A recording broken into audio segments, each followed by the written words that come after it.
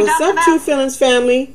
Thank you for showing back up when I show up. If you're new to my channel, my name is Crystal, and I hope you stay. Guys, last night episode with Chance and Tayler was absolutely disgusting, and I know, I know we all felt it. Like I didn't want to judge this lady on her mothering skills, but at this point, we gotta say something because I watched some bullshit last night, and it was just absolutely disgusting the way she let that shit go on, the way she let it go on. Like, it's not a very good start. He got pissed at this girl and made a big deal. For those of you who may not watch it, made a big deal because she did not want to eat pizza from him. Excuse me.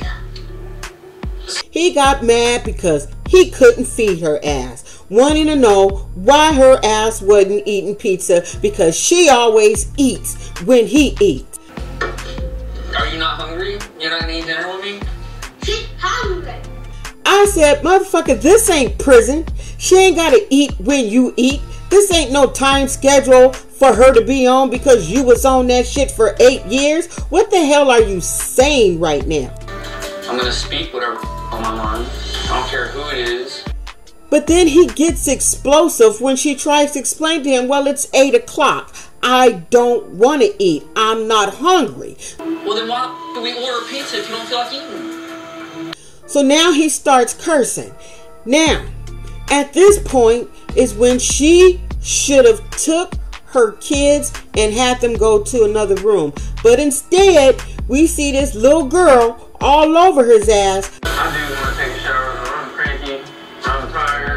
hugging him, okay? Which I'm so tired. I'm tired of seeing this little girl all over this man who she barely knows. I'm sick of that shit. Why are you being cranky? So after she points out his damn behavior, the little girl tells him the same shit. Listen, You're being really crazy and mean. I'm not being crazy and mean, dude. Did you see the expression on that little girl's face? Alright, Athena, are you done eating or are you still eating? She was pissed off. Why are you putting your child through this bullshit with this man? Why? Why are you letting your little girl go through this shit? And she said she don't like arguing in front of her kids. Then why you have him there? I don't like seeing Chance yell or be mad about anything. you silly ass heifer. Why? I hope you're watching this video. Y'all, t- I ain't gonna say tear her up in the comments, but you guys need to give her some kind, loving thrashes in them damn comments. And what the hell is up with her sister Bobby? I thought Bobby was there to keep an eye on things and keep an eye on his punk ass, but her ass don't do nothing but stay in the damn room. She should have been out there when it was out there talking shit and cursing in front of them kids. Bobby, you need to get your shit together and get to be the watchdog you need to do to this girl. Because she ain't raising these kids. Right. Because what i saw like i said like that shit was damn disgusting. Because i watched that little second year uh the, the second little girl. She was pissed off. She was highly pissed off. So now it pops up and they all in the bed cuddled up ain't talking about shit. Hold on, wait. I want to look at all these phone numbers. He's talking, she's more concerned about a list of female numbers and having a conversation with this man about him talking like that in front of her daughters. Because his ass should have been out that house. I would have said, Don't you ever in your life, if you got a problem with me, don't you ever raise your voice at me in front of my kids. Don't you curse at me in front of my kids. Don't even curse in front of my kids at all. Curse, cuss, curse like he's got a curse. I think it's cuss. But here's the thing I'm pretty sure he was probably raised the same damn way. That's why it means absolutely nothing to his ass. Take it or leave it. You don't like it, get the f- out the road. You know what I'm saying? That's how I feel. But it should mean something to her ass. She needed to get his ass together. Fuck, sorry.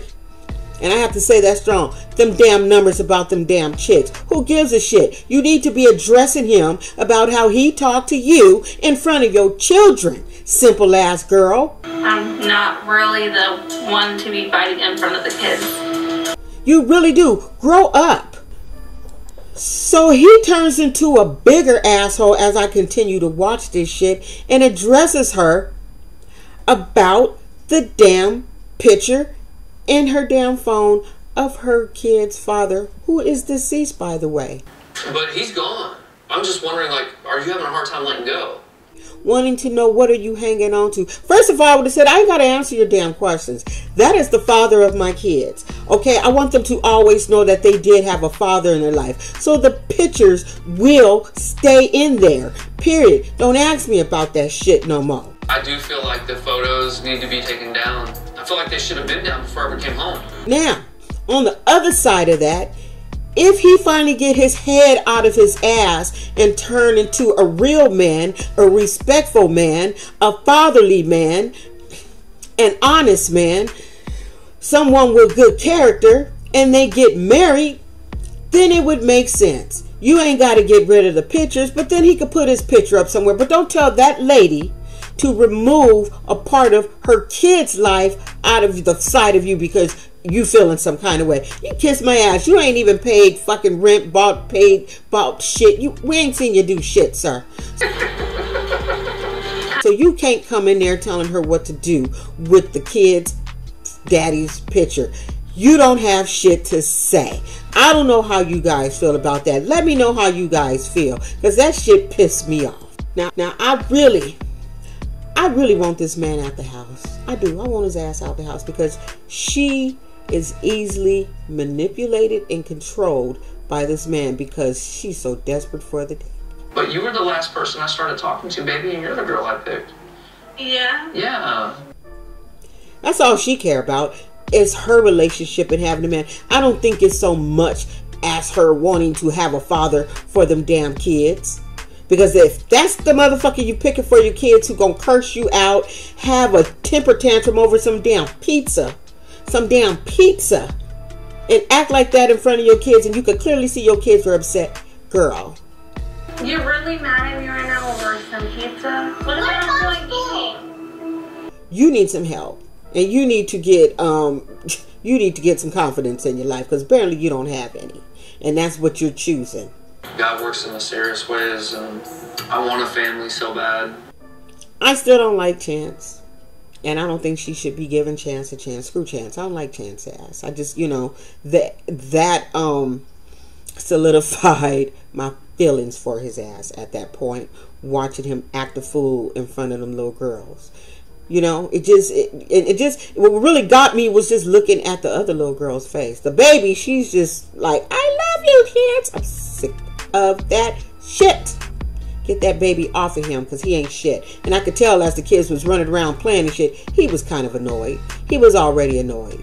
He always say he takes shit out on simple ass Tayler and feel bad for it, but then he do something just as bad the next time we see his ass. Like you was just as bad this week than you was last week. So I don't know what the hell his dumbass gonna do next week. But I'm not feeling Chance, and I'm not feeling her right now, girl. You are. we not. I'm not feeling you, and I don't think anybody is after watching that episode last night. Tell me what you think, y'all, down in the comments. Uh, don't be an asshole. Bye. Because if there's something to know, tell me. If ain't, then act right.